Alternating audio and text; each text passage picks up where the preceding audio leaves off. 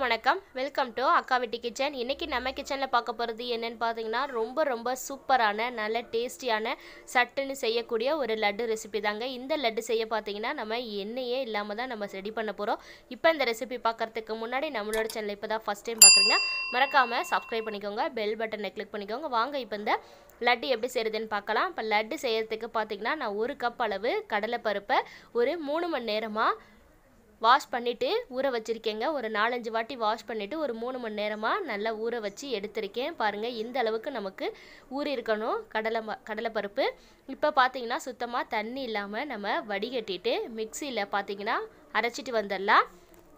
மிக்சியில் அரைக்கும் போது பார்த்தீங்கன்னா நல்லா பொற பொறன்னு அரைச்சிக்கோங்க. ரொம்ப வந்து மைய அரைச்சிடாதீங்க. லைட்டாக கொர கொரன்னு இருக்கிற மாதிரி அரைச்சிக்கோங்க.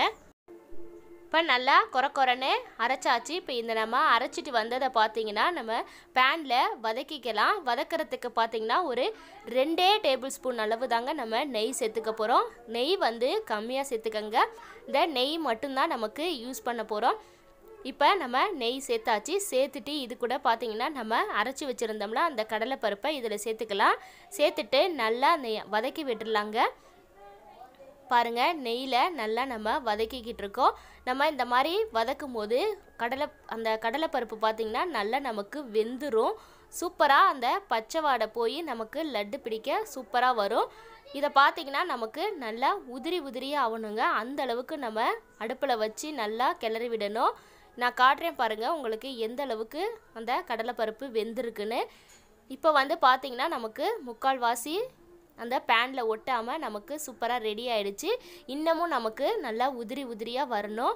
அதனால் இன்னும் ஒரு அஞ்சு நிமிஷம் வச்சு நல்லா நம்ம கிளறி விட்டுடலாம் அடுப்பை வந்து லோ ஃப்ளேமில் வச்சுக்கோங்க. ரொம்ப ஹையில் வச்சிங்கன்னா அடியில் உட்காந்துரும் இந்த கடலை அந்த கடலை பருப்பு.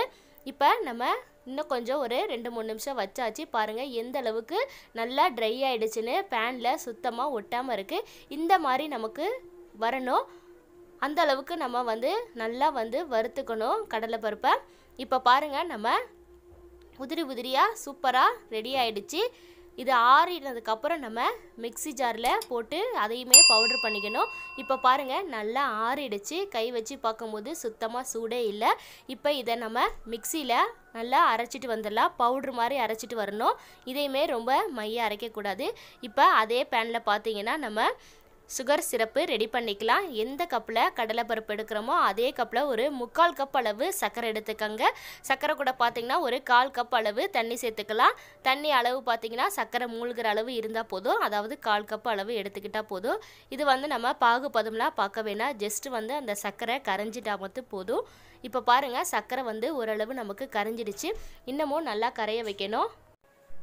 இப்போ சர்க்கரை வந்து பார்த்திங்கன்னா நல்லா நமக்கு கரைஞ்சிடுச்சு. அந்த பிசுபிசுப்பு தன்மை பார்த்திங்கன்னா நமக்கு வந்துருச்சு.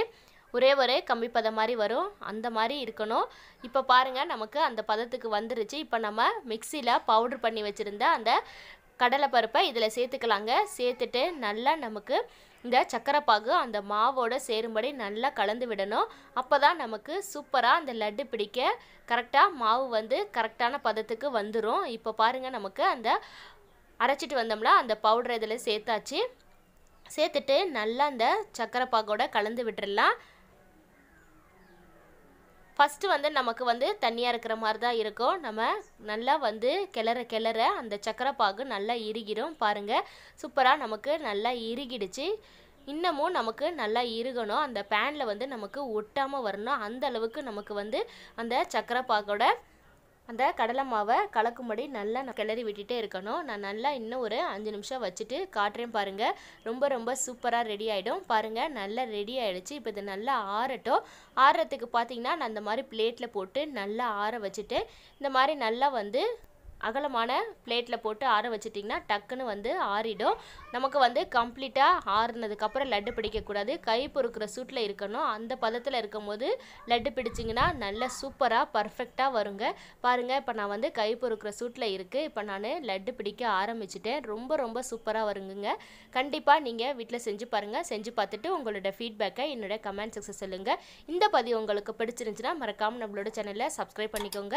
பெல் பட்டனை கிளிக் பண்ணிக்கோங்க. இப்போ பாரு பாருங்கள் நமக்கு லட்டு வந்து ரொம்ப சாஃப்டாக நல்ல ஸ்வீட்டாக ரெடி ஆகிடுச்சு கண்டிப்பாக நீங்களும் வீட்டில் செஞ்சு பார்த்துட்டு உங்களோட ஃபீட்பேக்கை என்னோட கமெண்ட் செக்ஸை சொல்லுங்கள் இந்த பதிவு உங்களுக்கு பிடிச்சிருந்துச்சுன்னா மறக்காமல் நம்மளோட சேனலை சப்ஸ்கிரைப் பண்ணிக்கோங்க. ப்ளீஸ் சப்ஸ்கிரைப் பண்ணிவிட்டு பாருங்கள் அவ்வளோதாங்க சூப்பரான லட்டு தயாராகிடுச்சு தேங்க்ஸ் ஃபார் வாட்சிங் தேங்க்யூ